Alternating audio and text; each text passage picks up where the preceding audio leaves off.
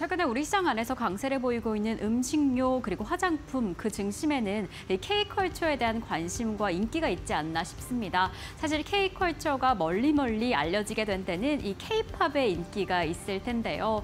이 K팝 조금은 아쉽게도 최근에 엔터사의 주가 하락으로 좀 확인이 되고 있습니다. 어떠한 상황인지 이 시점에서 실적은 어떻게 나오게 될지 그 부분 오늘 좀 체크해 보려고 합니다. 사실 엔터사, 엔터 4사 중심으로 주가에는 좀 아쉬운 흐름을 보였습니다. 이렇게 올해 주가 하락률이 정말 상당했는데요. JYP 같은 경우에는 거의 45%에 가까운 하락세를 보였고 하이브는 15%, SM은 17%를 훌쩍 뛰어넘는 YG 역시나 22%를 넘는 이 엄청난 하락세를 보인 상황이었습니다. 이렇게 주가가 힘을 내지 못하고 있었기 때문에 언제까지 하락을 하게 될 것인가, 반등의 시점을 언제로 삼아야 될 것인가 그 부분을 가장 궁금해하고 계실 텐데 하나증권에서는 이 시점을 마지막 보릿고개다 라는 이야기를 하기도 했습니다. 지금 하락세 이제는 좀 바닥을 딛고 조금 더 다지는 시간을 지나고 나면 상승을 할 것이다라는 모멘텀을 좀 체크하고 있는 상황인데 어떤 상황인지 잠시 후에 체크를 해보겠고요. 아무래도 이러한 주가 하락세를 만들었던 건 엔터사의 힘들었던 상반기 모멘텀이지 않을까 싶습니다. 우선 아티스트들의 움직임이 가장 크게 주가로 연결이 될 텐데 BTS라던가 블랙핑크와 같은 팬덤이 강력한 아티스트들의 좀 부재가 있었습니다. 그리고 중국 시장 안에서 앨범 구매가 좀 크게 감소한 상황이었는데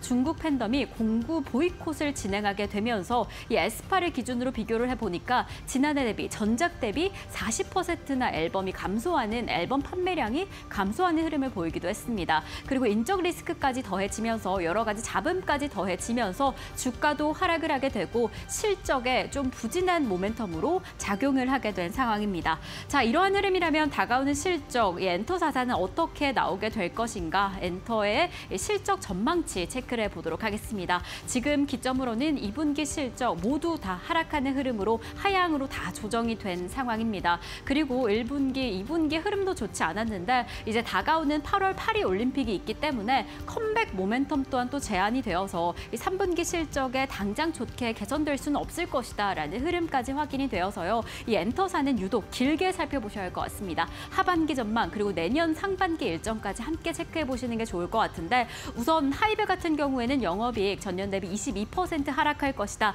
라는 전망치가 나온 상황입니다. 그래서 하반기 일정을 체크를 해보면 그 계속해서 준비하고 있던 위버스 플랫폼 구독 모델을 도입할 것이다 라는 계획 내놓았고요. 이제 기다리고 기다리던 BTS 완전체가 내년 6월이면 이제 시작을 할 것이다. 출범할 것이다 라고 전망을 가지고 있습니다. 그렇기 때문에 이번 2분기, 3분기까지는 전망이 좀 좋지 않겠지만 이 하반기 바닥을 딛고 이 내년 상반기에는 좀 기대되지 않을까라는 흐름이 확인이 되고요. JYP 엔터테인먼트 역시나 좀 전망치가 좋지 않습니다. 매출액 전년 대비 38%, 영업이익은 56% 하락할 것이다라는 전망치가 좀 나오고 있는데 그래도 이제 하반기 3분기가 지나가게 되면 일본 시장에 대한 공략이 조금 더 확대가 되어서 다소 제한적이었던 매니지먼트 단에서 매출을 좀 기대해봐도 되지 않을까라는 기대치 나오고 있습니다. SM 역시나 전년 대비 영업이익 매출 모두 다 하락할 것이지만 다가오는 3분기, 4분기에 아티스트들의 컴백 일정이 좀 잡혀 있고요. YG 엔터테인먼트 역시나 좀 하락하는 흐름 확인이 되고 있습니다.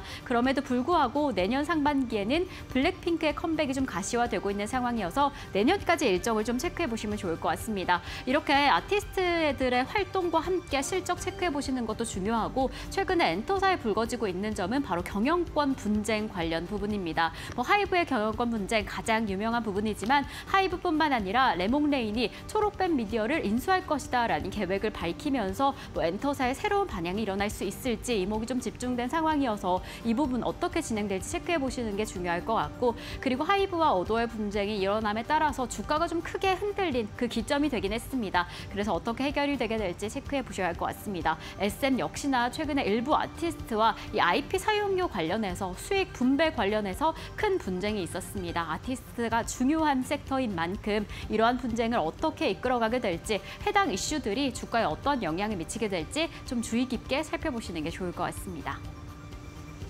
네, 이렇게 시장을 움직일 이슈 체크해 봤고요. 이어서 시장에서 움직이고 있는 기업 세 번째 기업 알아보겠습니다. 어, 오늘 대표님께서 세 번째 종목으로 삼성전자를 꼽아 주셨는데 투자 포인트 짚어보겠습니다. 네, 삼성전자 지금 이제 개인 투자자분들이 지금 현재도 많은 관심을 가지고 있을 겁니다. 뭐 국민주라고 할 수 있는 삼성전자 앞으로 주가가 더 상승할 수 있을 것이냐, 아니면 여기서 스탑을 해야 되냐, 아니면 뭐 지금 현재 뭐 다시 또 신규로 추가하면서 해도 괜찮은 지점이냐 많은 고민을 하실 텐데 자 삼성전자에 대해서 말씀드리면 오늘 뭐 여러 가지 노이즈는 좀 나와주고 있어요. 어, 삼성 쪽이 이제 노, 노조가 어, 오늘 뭐 지금 이제 노이즈 파업 관련된 노이즈가 나와주고 있는데 이런 부분들은 단기적인 이슈니까요. 이런 부분들 신경 쓰지 마십시오. 우리가 뭐 신경 쓸 필요는 없다라고 어, 좀 말씀을 좀 드리고 싶고 자 이번 달 10일입니다. 10일 같은 경우에 지금 현재 갤럭시 언팩 행사가 있습니다. 아, 파리에서 있다라는데 자 여기서 지금 폴더블 6에 대한 부분들, Z 플립 6 신, 신작에 대한 부분들이 이제 공개가 됩니다. 이 공개가 되는데 어, 재밌는 사실은 지금 현재 사전 구매를 하신 분들이 벌써 10만 명이 돌파했다는 오. 얘기가 좀 나와주고 있습니다. 그렇기 때문에 자 이것도 지금 현재 최근에 어떻게 보면 어, 전 세계적으로 on-device AI가 탑재된 예, 스마트폰을 최초로 이제 또 만들었던 어, 갤럭시 S24 에 이어서 이번에 이제 Z Flip foldable 쪽에도 지금 이제 AI 칩이 들어가고요. 어, 여기에다 이제 번역이라든가 여러 가지 또 어, 우리가 편리하게 쓸 수 있는 뭐 카메라도 좀더 어, 상향되는 어, 성능을 가지고 있는 카메라를 탑재하게 됩니다. 이런 부분들이 어, 다시 한 번 더 좀 삼성전자의 주가가 달리는 부분들에 있어서 어, 긍정적인 요소로 좀 작용할 것으로 좀 기대, 기대가 되고요. 자, 그리고 삼성 파운드리, 파운드리 포럼과 이제 SAFE 포럼, 어, SAFE 포럼이라고 해가지고 오늘 좀 개최가 됐어요. 오늘 개최가 됐는데 자, 여기서 나오는 내용들을 좀 보게 되면 이제 고객사의 파운드리 사업 전략과 첨단 공정 로드맵 그리고 응용처별 솔루션을 좀 공개했다는 내용이 좀 나왔습니다. 뭐 이런 내용도 나왔고, 자 그리고 생태계 파트너사들과 함께 이제 고객 제품에 대한 설계 인프라를 에, 발전 아, 방법을 공유하겠다라는 얘기도 좀 나왔어요. 그러니까 삼성전자만 가는 게 아니라 아, 삼성전자와 함께하는 기업들과 아, 파트너사들과 함께 어, 이런 부분들을 지금 현재 반도체 시장을 함께 이끌어, 이끌어 가겠다라는 강력한 좀 표현을 삼성전자 쪽에서 하고 있다라고 좀 말씀을 좀 드립니다. 아무튼 이렇게 지금 삼성전자 같은 경우에는 어, 긍정적인 내용들이 계속 잘 나오고 있어요. 여기에다 뭐 CX에 관련된 최근에 내용도 나와주고 있죠. 뭐 CXL 같은 경우에도 지금 현재 메모리 2.0을 지금 현재 개발한 상태고, 근데 사용을 못 하고 있어요. 왜? CPU CPU의 CXL 2.0이 안 나왔어요. 예, 안 나왔는데 인텔 같은 경우에 내년에 지금 3.0을 뭐 기대하고 내년 하반기에 좀 제품이 나온다니까 지금 당장은 어떻게 보면 꿈과 희망을 가지고 CXL 관련 주들의 움직임들도 좀 긍정적으로 움직이고 있으니까요. 꼭 실적이 눈으로 보여야지만 반응하는 건 아닙니다. 우리가 뭐 주식할 때 보면 꿈과 희망을 가지고 큰 파동을 그릴 때가 있고 그리고 실질적인 실적이 나올 때 큰 파동을 그릴 때 딱 두 번의 큰 파동이 나와주게 되는데 그 부분에서 가장 큰 파동이 나올 때가 언제입니까? 꿈과 희망을 가지고 주가 상승을 보여줄 때죠. 그렇기 때문에 그 부분들이 있기 때문에 어, 지금 이제 CXL 관련 종목들 지금 뭐 네오센도 저는 괜찮다고 보고 있고 오키스 전자라든지 이런 종목들 뭐 검사 장비 쪽도 우리가 관심 있게 바라볼 필요가 있다라고 말씀을 좀 드리고 싶습니다. 네, 알겠습니다. 삼성전자 오늘 파운드리 포럼이 개최가 됐는데 이나노 기반의 AI 가속기 반도체 첫 수주에 대한 공식 발표가 있었습니다. 어, AI 관련 모멘텀을 안고 삼성전자 어, 지금 지속적으로 상승할 것이다 긍정적인 이슈 이야기해 주셨고요. 이에 따라서 우리 시장 역시나 삼천피에 터치할 수 있을지 기대해 보겠습니다. 마지막 종목 한번 들어보겠습니다. SKC 네 번째 종목으로 들고 오셨는데요. 투자 포인트 들어볼까요? 네, SKC에 대해서 많은 분들이 좀 관심을 가지실 겁니다. SKC 같은 경우 아무래도 이제 자회사가 이제 큼직한 자회사가 이제 두 가지 두 개가 있죠. 어, 바로 이제 뭐 SK의 그 저기 어 배터리에 네. 들어가는 네, 배터리에 들어가는 이제 동박이죠. 동박을 만드는 이제 SK SK 넥실리스라는 회사가 있고 그리고 아. 지금 현재 그리고 유리기판 관련된 SK 앱솔릭스라는 회사가 있습니다. 이 두 회사가 지금 현재 관심을 좀 많이 받고 있는 상황이고요.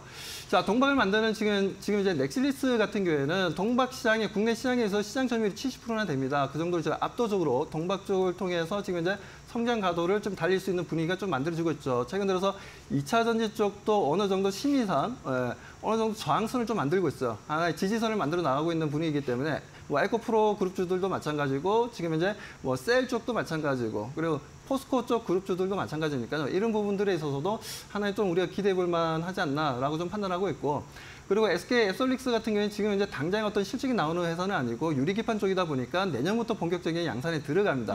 이미 파이럴 라인을 지금 이제 만들었고 수율에 대해서 어느 정도 끌어올릴 건지 이제 테스트를 계속해서 하고 있는 중이기 때문에 뭐 그런 부분들에 있어서 그러니까 내년에 어, 성장에 대한 기대감을 가지고 SKC가 꿈과 희망을 가지고 계속해서 주가 상승 흐름을 보여줄 수 있다라는 관점입니다. 아무튼 그런 흐름들에 대한 기대감이 있고요. 자 그리고 외국인들 같은 경우에도 지금 SKC 같은 경우는 지금 작년 작년입니다. 아, 아 어, 작년이죠. 작년 10월 달까지만 하더라도 외국인들 지분율이 10%밖에 안 됐었는데 어, 지금 현재는 지금 16%까지 비중을 좀 많이 확대를 했습니다. 어. 그렇기 때문에 60%나 더, 더 많아졌다는 거죠. 그만큼 SKC가 앞으로 좀더 어, 실적에 대한 기대감도 있고 앞으로 성장 가능성에 대한 기대감도 상당히 눈높이가 높아지고 있다는 부분들에 있어서 외국인들의 수급이 많아지고 비중이 커지고 있다는 부분들 이 부분들 분명히 SKC의 앞으로의 주가 상승 흐름에 어, 상당히 긍정적인 말씀을 드리고 싶습니다. 차트를 보면서 잠깐 좀 말씀드리겠습니다. 자 차트를 보게 되면 SKC 같은 경우에 최근에 20만 원을 좀 터치를 했었어요. 20만 원을 좀 터치하고 난 이후에 예, 단기적 단기적인 조정을 좀 보여주고 다시 한 번 더 상승 추세를 보여주기 위한 움직임을 가져가고 있습니다. 자, 이제 뭐 16, 16만 원이 하나의 저항선 역할을 해주면서 다시 한번더 20만 원 이상 좀 올라가면서 50일 신고가 랠리가 다시 나와줄 수 있다라고 저는 보고 있는데요. 아무튼 SKC 같은 경우에는 지금 이제 2차 전지 쪽도 마찬가지고 지금 이제 어, 유리기판 쪽도 마찬가지고 어, 이런 부분들을 통해서 앞으로 주가 상승 흐름들 그리고 외국인들의 비중이 확대되고 있다는 부분들 어, 다만 이제 개인 투자자분들이 좀 오르면은 좀 물량을 좀 정리하는 부분들이 있는데 정리하지 마세요. 정리하지 마시고 꼭 가져가야 될 중장기적으로도 너무 좋고 예, 너무 좋은 종목이니까 제발 예, 이런 종목들 좀 주가 좀 반등 준다고 좀 상승했다고 빨리빨리 현금화하시려 하지 마시고 어, 지금 상황에서는 SKC 같은 경우에는 꼭 우리가 포트에 가지고 예, 끝까지 우리가 크게 예, 수익을 만들어 보자라고 말씀을 좀 드리고 싶습니다. 네, 알겠습니다. 6월 18일 20만 원 터치 후에 어, 지금 하락을 이어가고 있는 SKC 다시금 20만 원 돌파할 수 있을지 그 가능성 주목해 보시면 좋을 것 같습니다. 시장에서 움직이는 특징 종목 네가지까지 확인해 봤습니다. 오늘 말씀 여기까지 듣겠습니다. 고맙습니다.